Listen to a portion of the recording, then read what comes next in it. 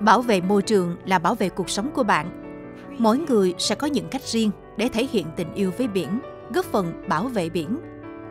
Anh Ngô Thành Phú và chị Trần Thị Kim Phúc ở thành phố Vũng Tàu đã thể hiện tình yêu biển bằng công việc cần mẫn mỗi ngày nhặt rác dọc biển Vũng Tàu.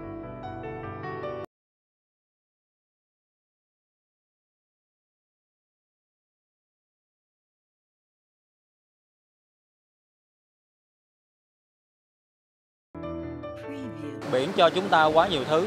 Thứ nhất là biển chúng cho chúng ta gió mát nè, cho chúng ta hải sản, cho chúng ta cái nước biển này rất là tốt nha các bạn nha. Thí dụ các bạn mà tắm biển mỗi ngày á thì nó có cái tác dụng chữa lành ờ, một số cái bệnh trong cơ thể. Thì nếu mà ờ, đúng ra mình là phải biết ơn biển, mình phải cải tạo và làm sao đó cho biển nó tốt hơn. Nhưng mà đằng này mình lại xả rác xuống biển là giống như mình đang có hành động gọi là phá hoại. Thì ờ, cái cái cách yêu biển của mình là đơn giản thôi là mình uh, lan tỏa thông điệp nhặt rác thải, uh, nhặt rác nhựa và giảm rác uh, rác thải nhựa ở biển. Với suy nghĩ giản đơn ấy, mỗi ngày vợ chồng anh Ngô Thành Phú và chị Trần Thị Kim Phúc, phường Tháng Tam, thành phố Vũng Tàu, dành khoảng 2 tiếng đi nhặt rác tại bờ biển Vũng Tàu. Chọn Vũng Tàu là nơi sinh sống và lập nghiệp. Ba năm trước, mỗi lần ra biển, thấy rác thải tràn vào bờ, nhiều nhất là túi ni lông và rác thải nhựa Vợ chồng anh Phú coi việc nhặt rác như đi thể dục, cũng như góp phần cho biển sạch và để khách du lịch yên tâm tắm biển. Địa điểm hàng ngày vợ chồng anh Phú đến là bãi lăng rừng, bãi tắm đối diện Niết Bàn tỉnh Xá, bãi trước, bãi sau. Còn cuối tuần tổ chức cho nhóm hội tham gia thì bãi dâu, bến sau mai hoặc dọc biển khu đồi nhái đường 3 tháng 2, bờ kè sông Dinh. Thông qua fanpage Tôi là rác Amtrak Vũng Tàu. Bất cứ ai muốn tham gia hoạt động này chỉ cần liên hệ qua fanpage, được anh Phú trang bị đầy đủ găng tay, bao dứa để cùng làm.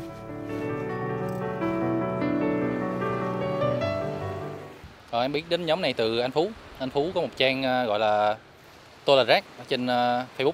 Em biết thông qua cái đó. Rồi khi mà em gặp anh Phú thì anh chia sẻ cho em về vấn đề môi trường rác thải. Em thấy cũng thấy hay. Với lại em cũng có thời gian rảnh vào cuối tuần thì em xem như việc ờ, nhặt rác này ờ, một là giúp ích cho xã hội giúp ích cho Vũng Tàu của mình Mỗi ngày anh Phú thu gom được khoảng 20 đến 30 kg rác, có hôm lên đến 50 kg. Rác chủ yếu là vỏ nhựa hộp xốp. Những buổi có hội nhóm tham gia thu gom, số rác thải lên tới hơn 10 bao loại 40 kg. Hành động nhỏ của vợ chồng anh Phú đã thu hút sự tham gia của đông đảo mọi người, cả khách nước ngoài sinh sống tại phố biển Vũng Tàu.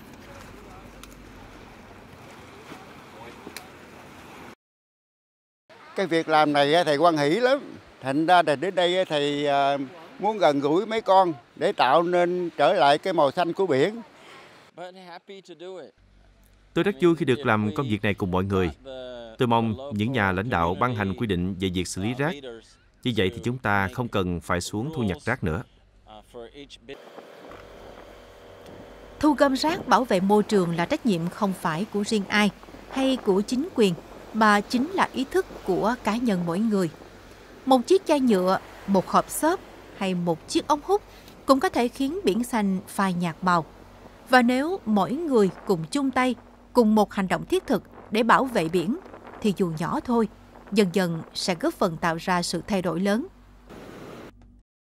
Mình chỉ mong muốn lan tỏa cái ờ, thông điệp này đến ờ, tất cả mọi người là giảm rác thải nhựa và biết được cái tầm quan trọng của rác thải nhựa, hiện tại bây giờ nó đã là hạt vi nhựa và nó gây ảnh hưởng tới sức khỏe nghiêm trọng đến ờ, thế hệ mai sau. Và cái thứ ba là mình nghĩ như thế này, có nhặt thì sẽ có bớt. Và mình mong muốn lan tỏa cái thông điệp này đến ờ, cái vấn đề và môi trường giáo dục là nhiều. Nhất là mình hay tổ chức cho các trẻ con ờ, đi nhặt rác thải nhựa đi nhặt rác để mà các bé ý thức từ ngay ban đầu trong 3 năm qua, không chỉ góp phần bảo vệ môi trường biển Vũng Tàu, anh Phú còn tổ chức nhiều tour cùng bạn bè và người thân đi nhặt xác ở các tỉnh thành khác.